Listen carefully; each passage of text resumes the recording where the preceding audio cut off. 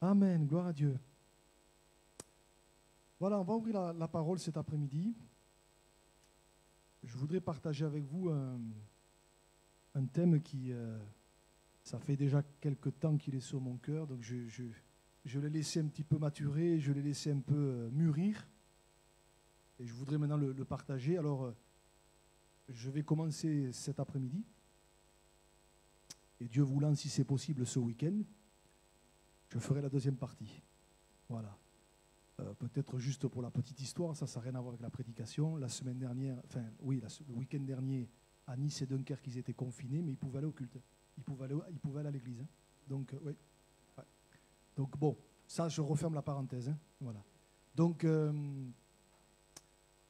on fera ça en deux fois, Dieu voulant. hein. Dieu voulant. Et si, même si ce n'est pas ce week-end qui arrive, ça sera une autre fois.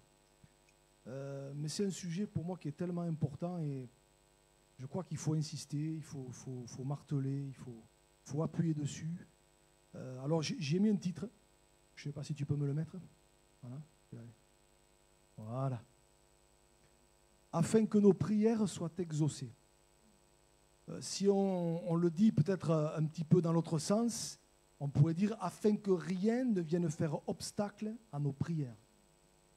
Crois que c'est important de réaliser que le désir du Seigneur, c'est d'exaucer nos prières, mais pas n'importe quelle prière.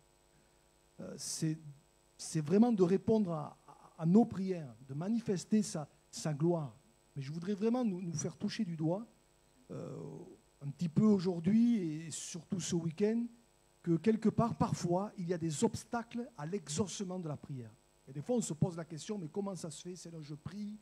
Comment ça se fait, Seigneur, je jeûne? Comment ça se fait, Seigneur, il y a des tels frères, telles sœurs qui prient pour moi et il n'y a rien qui change. Et le but, c'est de, au travers de ces, de ces deux messages, c'est peut-être euh, de mettre le doigt sur certaines choses qui parfois sont des freins à l'exaucement de nos prières. Des fois, c'est pas un manque de, c'est pas un manque de, de- j'allais dire persévérance, c'est pas le fait de pas jeûner et prier, c'est qu'il y a des obstacles. Et tant que quelque part on ne règle pas ces obstacles, vous pourrez prier pendant 107 ans, il n'y aura rien qui bougera. Je crois qu'il faut, vraiment en prendre conscience. En tout cas, peut-être déjà commencer par, euh, par, poser cette question euh, avons-nous une vie de prière? Parce qu'on peut parler de la prière, si on n'a pas de vie de prière, ou très peu au niveau de la, vie de prière, déjà là, il y a, un problème. Déjà là, il y a, peut-être une carence. Et en disant ça ce- cet après-midi, mon but, ce n'est pas de juger, ce n'est pas de culpabiliser, ça ne sert à rien, ça. Mais c'est nous amener à réaliser que avoir une vie de prière, c'est tellement important. Euh, une- quand je parle de vie de prière, c'est dans le sens de- de- d'avoir une communion avec Dieu. Voyez? Parce que la prière, et vous allez m'entendre le répéter, la prière, ce n'est pas simplement quelque chose qui est là pour demander. Seigneur, donne, donne, bénis, bénis, bénis, fais que, fais que. C'est pas ça la prière. Ça en fait partie. Mais euh, la prière, c'est d'abord être en communion et en relation avec Dieu, avoir une, une relation avec notre Père. Hein, Il y a beaucoup de gens qui récitent le Notre Père, mais ils n'ont pas réalisé qu'ils s'adressent à leur Père. Vous voyez, ça, je crois que c'est important. Hein, alors, euh, peut-être un verset en introduction, c'est Jésus qui parle et qui veut nous montrer l'importance de la prière. Vous connaissez juste ce verset, on va le lire, Luc 18, verset 1er. Je prends juste ce verset, comme pour nous montrer combien la prière est importante. Il nous est dit, et là, vous, vous regarderez le contexte, je l'ai fait pour vous, Jésus s'adresse à ses disciples. Il ne s'adresse pas à des gens qui ne le connaissent pas, mais il s'adresse à ses disciples, il leur dit, Jésus leur adressa une parabole pour montrer qu'il faut toujours prier, toujours prier, et ne point se relâcher. Et vous lirez la suite, je ne vais pas m'y arrêter, vous avez juste derrière la parabole, la fameuse parabole du, du juge et de la veuve. Vous voyez, vous rappelez un petit peu, vous, vous, lirez ça. Mais donc, on voit quand même que pour Jésus, le sujet de la prière est hyper important. Il faut toujours prier et ne point se relâcher. Vous voyez, d'ailleurs, Jésus lui-même nous a donné un modèle euh, en ce sens qu'il a eu une vie de prière extraordinaire. Si vous lisez les évangiles, waouh, euh, Jésus a eu une vie de prière remarquable. Et quelque part, euh, si Jésus nous, dit qu'il faut toujours prier, ne point se relâcher, qu'il nous l'a montré en exemple par sa vie, c'est que quelque part, ça doit nous interpeller. Donc, c'est important. Alors d'abord, avant, de rentrer dans le vif du sujet, j'aborderai juste un point cet après-midi, juste un obstacle. Mais avant de parler des obstacles, je voudrais quelque part euh, m'arrêter sur trois conseils concernant la prière. Trois petits conseils, des choses que pour la plupart d'entre nous, nous savons. Peut-être même c'est basique ce que je vais dire. Mais je pense qu'il faut revenir aux bases. Et je pense que poser ou reposer les bases, c'est hyper important. Parce que des fois, il y, a des choses qu'on aura peut-être tendance à oublier. Vous savez, quand Paul dit Je ne me lasse de vous répéter les mêmes choses, c'est pas pour rien. Hein. Alors, trois conseils tout simples. Peut-être la plupart, vous allez dire Bah oui, c'est évident. Euh, il vaut mieux le dire ou le redire, parce que c'est important. Premier conseil, c'est Jésus qui nous le donne lui-même concernant la prière. Il dit ceci Matthieu chapitre 6, verset 7. On connaît ce verset hein, euh, quasiment par cœur. Jésus dit En priant, ne multipliez pas de vaines paroles comme les païens qui s'imaginent qu'à force de paroles, ils seront exaucés. Alors, c'est un verset que pour la plupart on connaît. Euh, peut-être pour la plupart d'entre vous, ça vous semble évident. Vous bah oui, évidemment. Voyez, mais je pense quand même que c'est, important. Alors, je vais le formuler autrement. Des fois, en formulant autrement, ça, ça percute plus. En, en, quelque sorte, Jésus est en train de dire que la prière, ça ne doit pas être de la récitation. Ça ne doit pas être de la récitation. Vous voyez, des choses qu'on rabâche, des choses qu'on récite, des prières qu'on a apprises ou qu'on nous a apprises et que je vais ressortir et que, en espérant que peut-être, à force de les dire et de les dire et de les dire, à un moment donné, Dieu va finir par lâcher. C'est pas ça la prière. Moi, je ne sais pas vous, mais euh, quand vos, enfants ou vos petits-enfants viennent vous trouver, si vous, si vous sortez une, récitation, papi, mamie, et vous sortez toujours la même chose, euh, quelque part, vous direz, je préférerais quelque chose qui vienne de ton cœur. voyez? Et quelque part, euh, quand, quand, on s'adresse à Dieu, parce que la prière c'est ça, Dieu attend ce qui vient de notre cœur, pas de la récitation. Voyez? Euh, Alors peut-être dire aussi que euh, le problème, en tout cas au moins dans notre pays, c'est que c'est vrai, euh, la culture religieuse fait que malheureusement, pour beaucoup de gens, on leur a enseigné comme ça. On leur a dit que la prière, ben voilà, tu vas apprendre quelques prières et puis tu les ressors et puis, et puis tu les récites. Et pour beaucoup d'entre nous, et j'en ai fait partie, donc c'est pour ça que je juge personne, hein, ben, la prière, c'est ça. Alors je vais réciter ben, telle prière, telle prière. Bon, maman, prière, oui, je me souviens, la grand-mère, elle faisait telle prière, etc. etc. Alors on récite, mais ce n'est pas ça la prière. D'ailleurs, euh, quand vous lisez la Bible et que vous, vous, recherchez des prières qui ont été exaucées, vous allez vous rendre compte que la prière, ce n'est pas une histoire de mots, ce n'est pas une histoire de formulation, ce n'est pas une histoire de termes, parce que alors, si c'était une histoire de mots, de formulation, de termes ou de bon français, ceux qui ont fait des études, ça irait très bien. Mais ceux qui, comme moi, ne l'ont pas fait, ça serait un peu plus difficile. voyez? Donc, ce n'est pas une histoire de, termes, c'est d'abord une histoire de cœur. Dieu aime entendre notre cœur. D'ailleurs, regardez, euh, moi je, pense peut-être à une des plus petites prières de la Bible, mais qui a été exaucée, c'est celle de l'apôtre Pierre. Enfin, il n'était pas encore l'apôtre Pierre. Quand dans Matthieu 14, vous relirez ça, quand il est en train de s'enfoncer dans les eaux, qu'est-ce qu'il va dire? Il va faire une prière en trois mots Seigneur, sauve-moi. Alors, bon, il n'a pas dit comme ça, hein, ça, a dû être euh, mais trois mots, une prière qui venait du cœur. Bon, vous allez me dire, les circonstances faisaient qu'il n'avait pas trop le temps de. D'accord, mais enfin, c'est sorti du cœur. Et, c'est ça la prière. Dieu attend des, prières qui viennent de notre cœur, avec nos mots à nous. Des fois, ça, m'est arrivé, peut-être je, veux peut-être le dire à quelqu'un cet après-midi, quand on me dit, mais moi je ne sais pas prier. Ben, je dis, mais parle à Dieu avec tes mots. Comme tu me parles, parle à Dieu. Parce que c'est ça la prière. Parle à Dieu. Donc, premier conseil, Jésus nous le donne, ne multipliez pas de vaines paroles. Voyez, la prière, ce n'est pas de la récitation. D'ailleurs, vous réfléchirez à ça. Euh, c'est très important. Vous, avez ça, Matthieu chapitre 6, verset 7. Et au verset 9, vous avez la fameuse prière du Notre Père, que beaucoup de gens récitent sans savoir ce qu'ils récitent. Donc, si Jésus avait donné cette prière pour qu'on la récite, c'est quand même bizarre que deux versets avant, il dit euh, ne, multipliez pas de vaines paroles, ne, récitez pas. Quoi. Voyez Donc, euh, ça c'est important. Premier conseil, hein, prier avec, notre cœur. Deuxième conseil, et ça c'est l'apôtre Jean qui nous donne, un verset que les chrétiens connaissent. Regardez, 1 Jean chapitre 5, versets 14 et 15. Nous avons auprès de lui cette assurance que si nous demandons quelque chose selon sa volonté, il nous écoute. Et si nous savons qu'il nous écoute, quelque chose que nous demandions, nous savons que nous possédons la chose que nous lui avons demander. Et là aussi, on touche à quelque chose d'important, je ne vais pas trop m'y arrêter, mais je pense que ça, ça, a le mérite d'être souligné, c'est que la prière, ça ne doit pas être un moyen de satisfaire nos envies. Ce n'est pas un moyen de satisfaire nos désirs.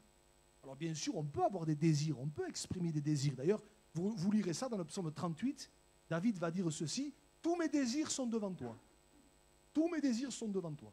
Seigneur, écoutez, tu veux les exaucer, tu les exauces c'est pas ta volonté, tu ne le fais pas. Mais tous mes désirs sont devant toi. Mais je crois que c'est important de, réaliser que la prière, ce n'est pas un moyen de satisfaire nos caprices. Ce n'est pas un moyen de satisfaire nos envies. Euh, la prière, c'est, euh, on, vient de le lire, hein, ce, passage, hein, si nous demandons quelque chose selon sa volonté. Sa volonté, c'est de nous bénir. Hein. La seule chose, c'est que parfois, on n'a pas la même définition de, la bénédiction. Des fois, il y a des choses, on pense que ça va nous bénir, mais Dieu sait très bien que ça ne nous bénira pas. Vous voyez c'est pour ça que c'est, important. Euh, l'apôtre Paul lui, le dira en d'autres termes.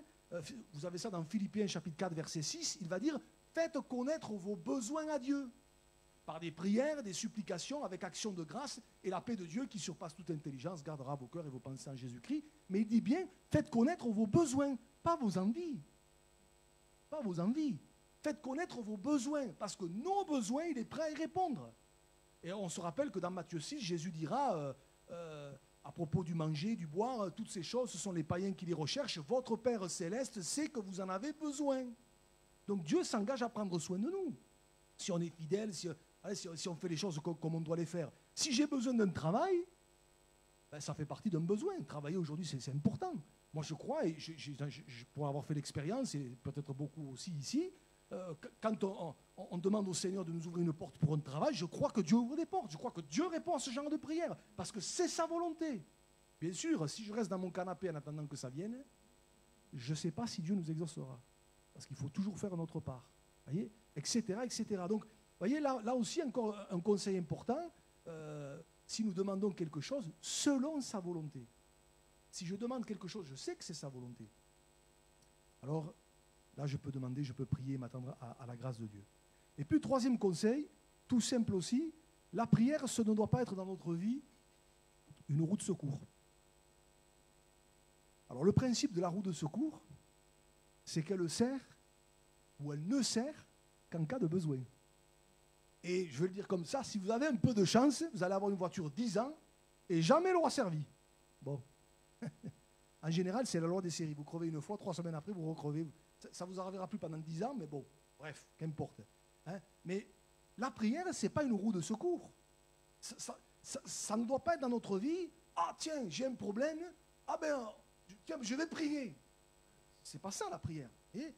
La prière, c'est un style de vie. La prière, c'est quelque chose qui doit, comme euh, je vais dire ça comme ça, qui doit nous coller à la peau. Un chrétien, un enfant de Dieu qui a rencontré Jésus, qui, s'est repenti de ses péchés, qui, est passé par la nouvelle naissance, mais c'est quelqu'un qui prie, quoi. C'est quelqu'un qui est en relation avec Dieu. Et, autrement dit, la prière, ce n'est pas une roue de secours. C'est pour ça que j'aime beaucoup ce verset. On va le mettre, Daniel chapitre 6, verset 10. Il est dit ceci. On connaît ce verset, mais moi je l'aime beaucoup. Lorsque Daniel sut que le décret était écrit, il se retira dans sa maison où les fenêtres de la chambre supérieure étaient ouvertes dans la direction de Jérusalem. Et trois fois le jour, alors ce n'est pas une règle là, ça ne veut pas dire qu'il faut le faire trois fois par jour, mais lui il faisait comme ça. Voilà. Moi je ne sais pas comment vous faites pour prier. Moi j'aime bien prier le matin tôt. Il y en a qui préfèrent prier le soir, il y en a qui préfèrent prier la nuit, si vous priez à 14h, priez à 14h, faites comme vous voulez. Et si vous voulez prier à 10h, à 14h, vous faites ce que vous voulez. Voyez Lui, c'était trois fois. Il priait trois fois le jour, il se mettait à genoux, il priait et il louait son Dieu comme il le faisait auparavant. Ça veut dire que chez, Daniel, la prière, le contact avec Dieu, c'était pas, c'était pas quand j'ai besoin, tout d'un coup, oh, il y a un problème, je, je prie. Non, non, c'était naturel. Et que ça aille bien ou que ça n'aille pas, je prie. J'ai une, relation avec Dieu. J'ai une communion avec Dieu. Et, ça, c'est important, vous voyez. Et peut-être, j'aimerais m'adresser peut-être à quelqu'un, peut-être à un croyant cet après-midi. Hein. Je ne sais pas. Si, mon frère, ma soeur, le but, ce n'est pas de nous culpabiliser, c'est de faire des progrès. Si peut-être euh, notre vie de prière se résume à simplement la roue de secours, ben peut-être il y a quelque chose à rectifier. Peut-être quelque chose à revoir là. Peut-être quelque chose qu'on n'a pas compris. Parce que la prière, c'est extraordinaire. C'est extraordinaire. ouais. Euh, de toute façon, plus on va prier, quand je dis plus, je ne parle pas spécialement de temps. Parce qu'on n'est pas là pour faire un marathon. Il faut que je prie une heure, une heure et demie, et puis on est là à la fin, on ne sait plus quoi dire, mais il faut tenir. Oh, une heure et demie. Et puis je sors et j'ai pris une heure et demie. C'est pas ça, c'est pas, c'est pas ça. Mais c'est pas, ça n'a rien à voir avec ça, vous voyez, mais plus je prie, et plus je vais avoir envie de prier. Plus, plus mon cœur va le réclamer, plus mon âme va le réclamer. euh, je, peux, je peux dire aujourd'hui, parce que ça n'a pas, toujours été le cas, mais passer un jour sans prier, ça m'est difficile. Ça m'est- je ne peux pas. Comme lire la parole, c'est pareil. Mais c'est ça la prière. Plus je vais prier, euh, et, plus, et plus je vais avoir soif. Soif de Dieu, soif de, de- ce moment pour le rencontrer. Euh, ça ne veut pas dire que ça va durer forcément une heure, mais des fois vous pouvez passer juste un quart d'heure, mais vous avez été visité, ça a été le ciel sur la terre. Vous avez passé un quart d'heure parce que vous avez pas plus de temps, parce qu'il y a eu ceci ou il y a eu cela, mais vous avez eu un moment avec Dieu. Et, et plus je vais prier, et plus, plus quelque part j'ai ce moment de contact avec Dieu, et plus j'aurai soif de ça. Et quand on vit ça, c'est extraordinaire. Quand c'est votre cœur qui le réclame, quand c'est votre âme qui le réclame, waouh, c'est super. Et vous n'avez pas besoin de mettre le starter spirituel pour que, au bout d'un quart d'heure, ça y est, ah ben ça y est, bon, c'est bon, ça y est, j'y suis. Non, mais tout de suite, waouh, vous êtes dans la présence de Dieu. Par contre, moins vous priez, et moins vous avez envie. hein. Ça, c'est comme, l'église. hein. Moins vous venez, moins vous avez envie de venir. hein. C'est pareil. Moins vous priez, et plus la prière devient compliquée. Plus, ah oui, c'est vrai. Oh, je sais pas. Le soir, vous allez vous mettre au lit, vous allez, oh, j'ai pas prié. Je, comprends pourquoi Paul disait à Timothée, vous connaissez ce verset, exerce-toi la piété. Euh, je ne suis pas un spécialiste du grec, mais ce verbe exercer, là, c'est dans, le- sens du sportif. Vous voyez, le, sportif, il s'entraîne, il s'entraîne. Et euh, il, a l'habitude de s'entraîner, vous voyez. Et c'est ça que, veut- que la, la pensée de l'apôtre Paul ici, inspirée par le Saint-Esprit. Exerce-toi la piété. C'est-à-dire, plus, plus, euh, euh, je, vais m'y mettre, dans, le bon sens du terme, plus je vais, mais, plus ça va devenir naturel. Et je ne vais pas me forcer. Je ne vais pas me forcer, ce n'est pas un exploit, c'est que c'est un besoin. Je ne sais pas où on en est au niveau de la prière. Mais si peut-être euh, tu dis, oh, là, là, moi, je n'en suis pas là, le but, ce n'est pas de te culpabiliser, c'est de dire, Seigneur, moi, je veux rentrer dans cette dimension-là, de la prière. J'ai soif de ta présence. Moi, il y a un psaume qui ne me lâche pas, et c'est le psaume 42. Il dit, comme une biche soupire après des courants d'eau, ainsi mon âme soupire après toi. Et, et, et- j'ai dit, Seigneur, c'est ça que je veux vivre avec toi. Soupirer après la présence de Dieu, après les parvis de, de- après les parvis de l'éternel. Vous avez dans le psaume 84, mon âme soupire, languit après les parvis de l'éternel. Waouh, parce que, parce que euh, ça fait partie intégrante de nous, vous voyez On ne peut pas nous l'enlever. Quelque part, j'ai- envie de nous dire, mais, c'est ça la prière. Si, si c'est pas ça, ça va devenir lourd. hein. Ça va devenir très religieux. Et, franchement, moi, le religieux, j'en veux pas. hein. Religieux, on va réciter, on va faire sa petite prière. T'as fait ta prière? Ah oui, c'est vrai. Pas ça. Et si j'aime retrouver quelqu'un, je ne me force pas. Quand on a rencontré euh, monsieur ou madame au tout début, on ne se forçait pas. hein, pour, euh, alors aujourd'hui, c'est vrai, il y a Internet, il y a tout ce que vous voulez, il y a Skype, il y a Messenger. Moi, à l'époque, il n'y avait pas tout ça. hein. Euh, il n'y avait que le courrier. Oh, mais on avait envie de, retrouver le ou là. Et on voulait être en sa présence. Mais c'est pareil sur le plan, spirituel. Seigneur, je, je veux te rencontrer. C'est pour ça que j'ai pris ces chants. Je viens te rencontrer. Je viens te rencontrer. Alors, c'est là qu'on en arrive. Vous allez me dire, tiens, tu as mis du temps pour y arriver. Mais je pense que ce qu'on a vu là, c'était important. Mais euh, les obstacles à la prière, c'est vraiment ça qui, m'intéresse. J'ai bien conscience, surtout ce week-end, que je vais mettre le doigt sur des choses qui peut-être vont tirailler. J'en ai bien conscience. Mais je crois que c'est important. C'est très important. Si on veut voir nos prières exaucées, si on veut voir la gloire de Dieu, si on veut vivre ce que la parole de Dieu dit. Et moi, je ne sais pas vous, mais moi j'ai soif. hein. Moi, je veux voir la parole de Dieu s'accomplir. Je veux voir euh, les, hein, les malades guéris, je veux voir des vies changées, transformées, etc. etc. Euh, Quoique, à ce niveau-là, par rapport aux obstacles, force est de constater que c'est vrai dans certains cas, Dieu ne répond pas toujours aussi vite que ce qu'on voudrait. Et dans ce cas-là, ben, c'est vrai qu'il faut persévérer. On a souvent entendu, vous avez souvent entendu des prédications sur persévérer dans la prière. Et c'est vrai, c'est biblique. Hein, acte 2, 42, il persévérait dans la prière, dans la fraction du pain, dans l'enseignement des apôtres, dans la communion fraternelle. La prière, ça demande de la persévérance. Voilà. Il y a des tas de textes, je ne les ai pas donnés aux vidéos, où il est dit persévérer dans la prière. On est OK. Des fois, il faut persévérer.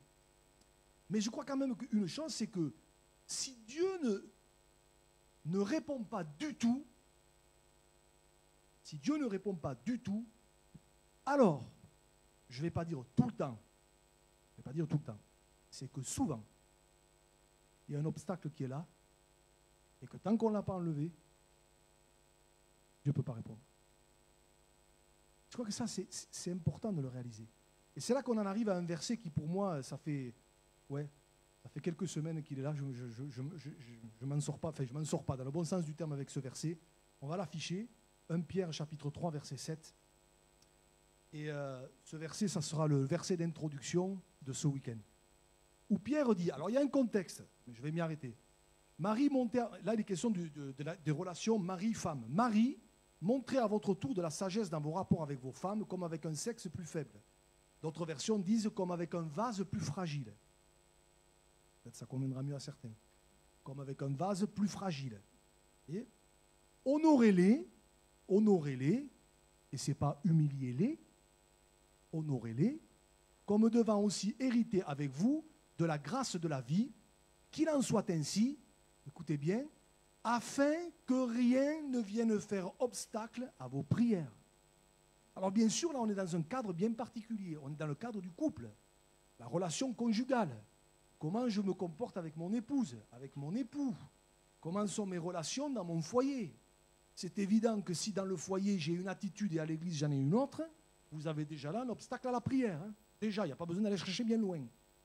Donc euh, euh, c'est important. mais vous avez remarqué que si on va plus loin, c'est valable dans le cas du couple, mais c'est valable à tous les niveaux finalement.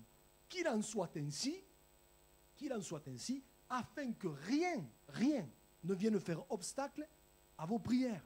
Alors, euh, ça nous montre une chose, la grande leçon.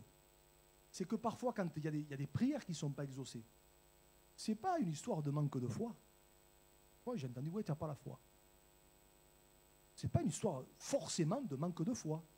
Non, non, non ce n'est pas forcément un manque de persévérance. C'est pour ça, soit dit en passant, que, euh, alors, parfois oui, mais parfois non. Euh, quand on, vient me voir, on me dit, ouais, combien de fois c'est arrivé Mais des, dizaines de fois ça m'est arrivé dans, plein d'églises où on a servi le Seigneur. Euh, pasteur, il faut faire des chaînes de prière. Pourquoi pas? Il faut, jeûner, il faut prier. Pourquoi pas? Sauf que tu peux jeûner et prier, tu peux faire des chaînes de prière, tu peux demander au plus grand pasteur de tous les temps de prier pour toi. S'il y a quelque chose qui n'est pas réglé et qu'il faut régler, eh ben, et, qu'on ne le fait pas, eh bien, tu pourras jeûner, tu pourras prier, tu pourras faire une chaîne de prière et il n'y a rien qui se passera. Ce n'est pas un manque de persévérance. Hein. Et des fois, j'ai vu des gens, ils priaient. Et puis on faisait, on, incluait les gens à l'église, on faisait prier l'église et tout ça, et puis il n'y avait rien qui changeait. À un moment donné, il faut se poser des questions. Est-ce qu'il n'y a pas un obstacle?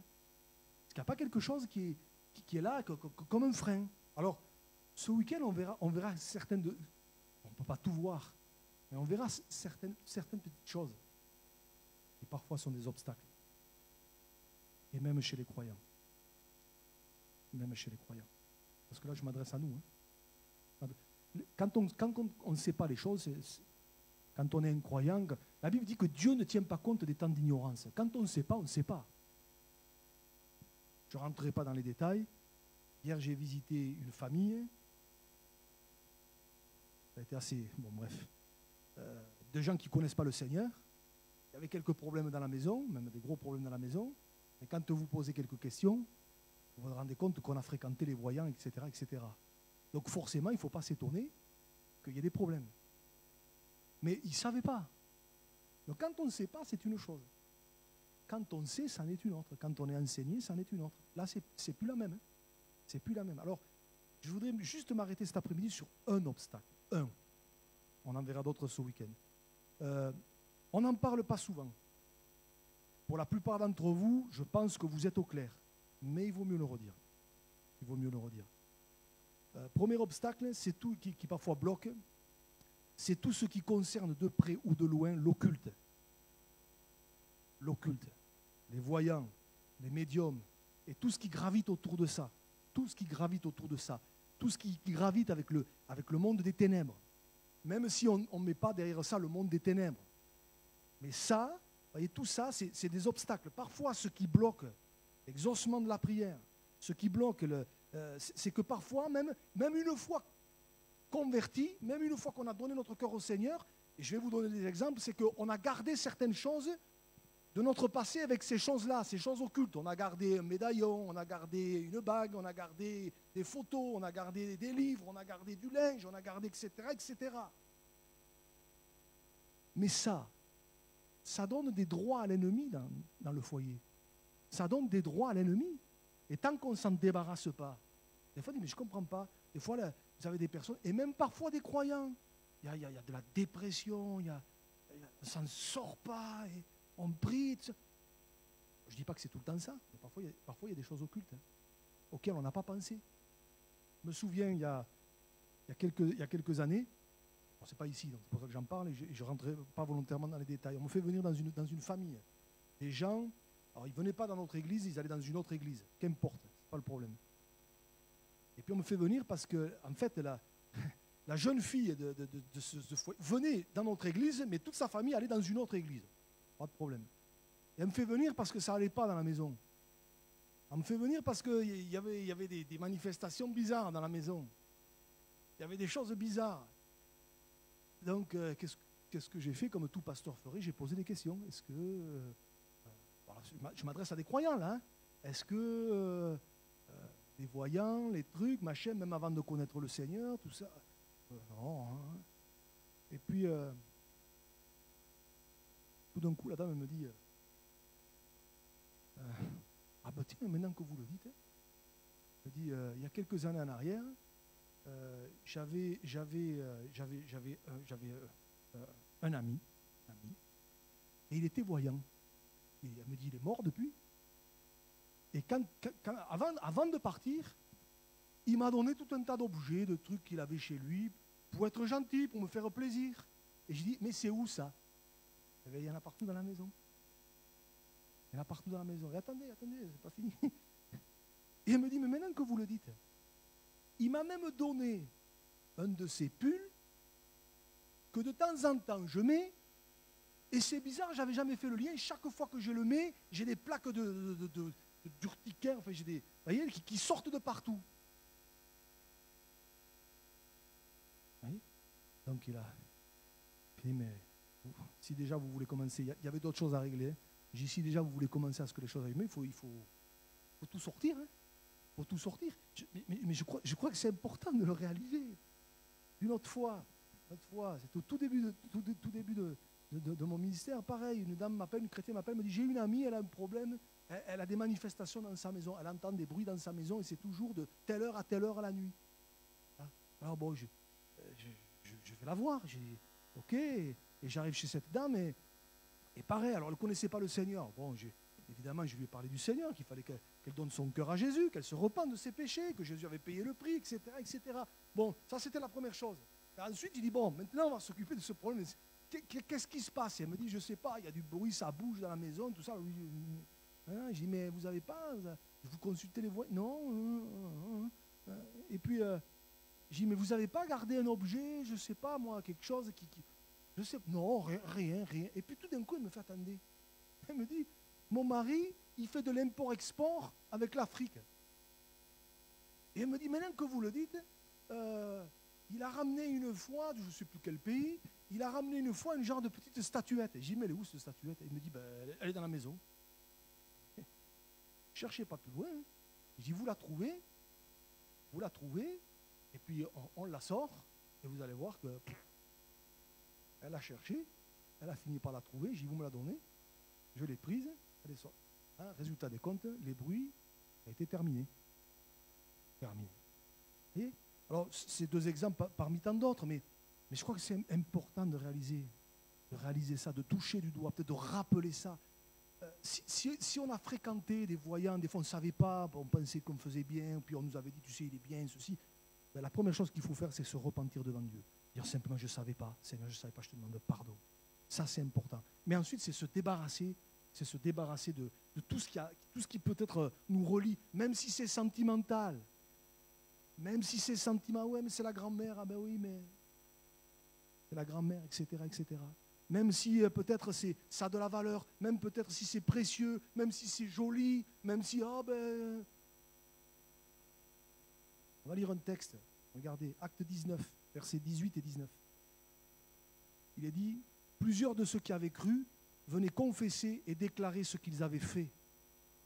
Et un certain nombre de ceux qui avaient exercé les arts magiques, quels qu'ils soient, parce qu'alors, hein, il de, dérivés là, hein, qui avaient exercé les arts magiques, ayant apporté leurs livres, les brûlèrent devant tout le monde, et on estima la valeur à 50 000 pièces d'argent. Il y en avait pour de l'argent, hein, parce que souvent dans ces choses-là, ça coûte de l'argent.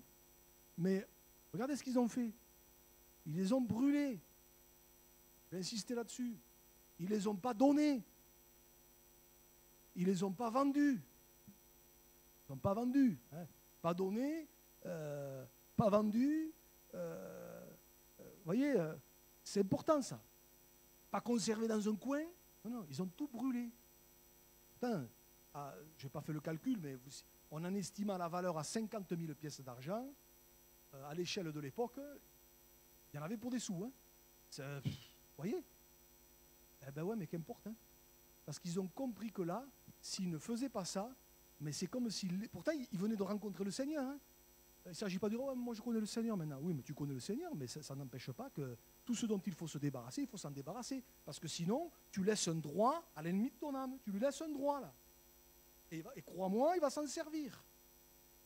Il va s'en servir. Et des fois, il faut se, faut se débarrasser de ces choses-là. Alors peut-être, peut-être, je ne sais pas, peut-être je, je, dis ça à des, gens convaincus, ou peut-être, mais je ne sais pas, mais euh, si, on, a, touché de près ou de loin à ces choses-là, il faut s'en repentir devant Dieu, peut-être on ne savait pas.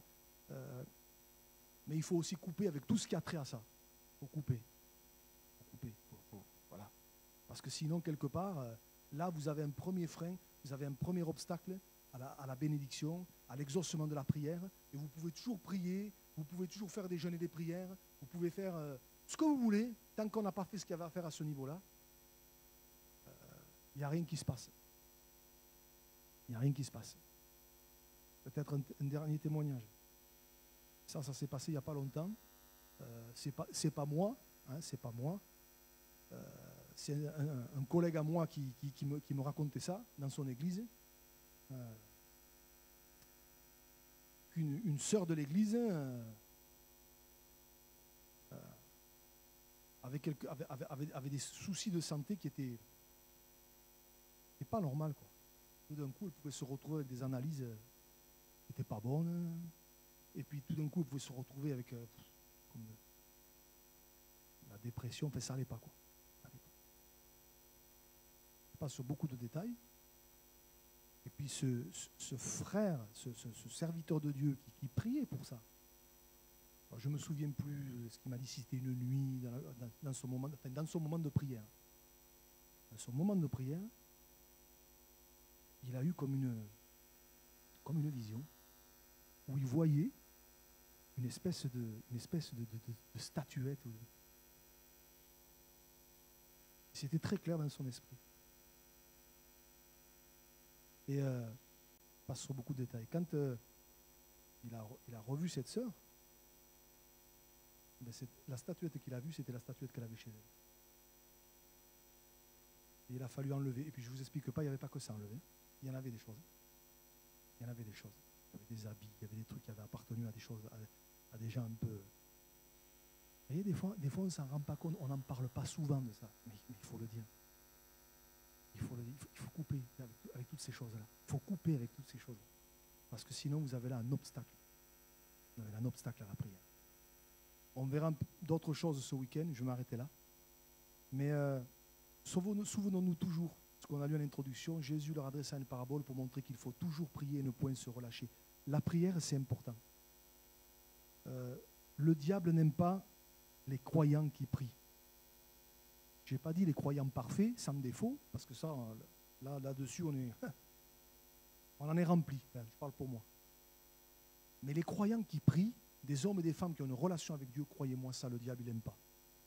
Quelqu'un qui vient à l'église, mais qui ne prie pas, qui n'a aucune vie de prière, qui n'a aucune communion avec Dieu, ça ne lui fait pas trop peur. Mais quelqu'un qui a une relation avec Dieu, une église où on prie, on se tient devant Dieu, croyez-moi, ça, c'est pas la même. Et, et le but, vraiment, le but, c'est de nous encourager les uns les autres à dire Seigneur, qu'on soit des hommes et des femmes de prière. Bien sûr, pour demander la bénédiction, bien sûr, pour demander la guérison de celui-ci ou de celle-là, bien sûr, pour demander la solution à telle ou telle situation compliquée, bien sûr. Mais aussi et surtout pour se tenir devant Dieu. Pour se tenir devant Dieu et, le chercher lui. Et peut-être, ça me vient à l'esprit, euh, je pense à cette parole de Ésaïe, chapitre 55, verset 6. Il est dit Cherchez l'Éternel pendant qu'il se trouve. Cherchez l'Éternel pendant qu'il se trouve. Voilà. Invoquez-le tandis qu'il est prêt.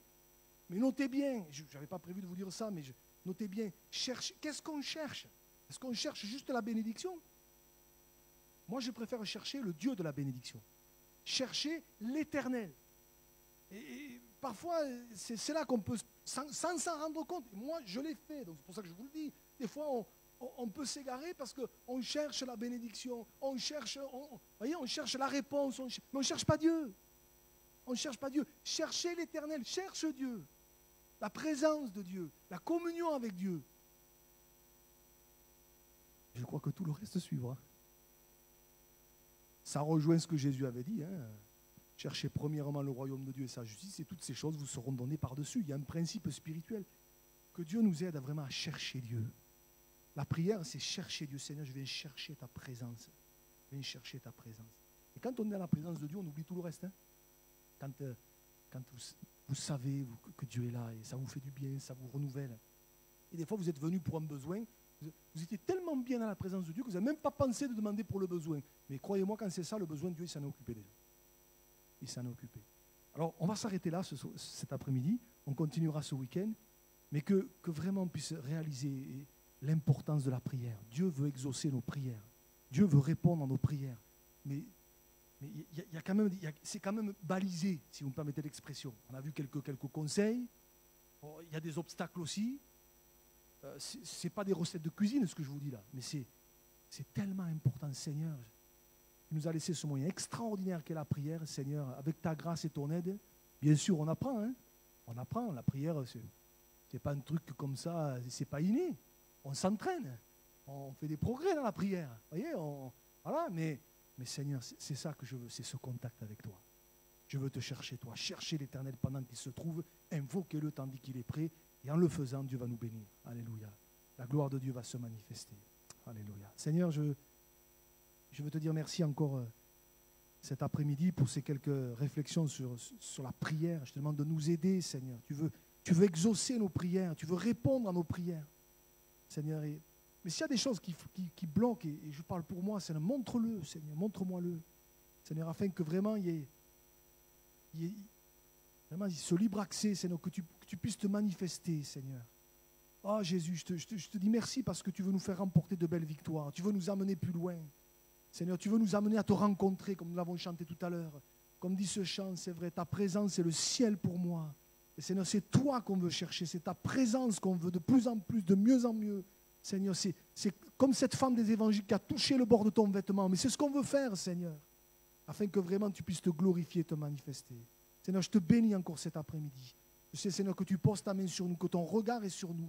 Seigneur, s'il y a des choses à enlever, des choses dont il faut se dépouiller, se débarrasser, montre-nous-le, Seigneur, pour que vraiment il n'y ait, rien qui fasse obstacle. Seigneur, à toi la gloire. Et si parfois, inconsciemment, Seigneur, nous t'avons offusqué, Seigneur, je veux m'en repentir devant toi. Seigneur, parce que tu es, le, tu es le Dieu miséricordieux. À toi la gloire, Seigneur. Aide-nous à aller plus loin avec toi. Nous te bénissons, Seigneur, encore. Dans le nom précieux de Jésus. Merci pour les belles choses qui sont devant nous. Merci pour ce que tu vas encore, euh, Seigneur, nous montrer. Tu veux nous amener plus loin. Alors, Seigneur, je veux te dire à ton nom soit toute la gloire.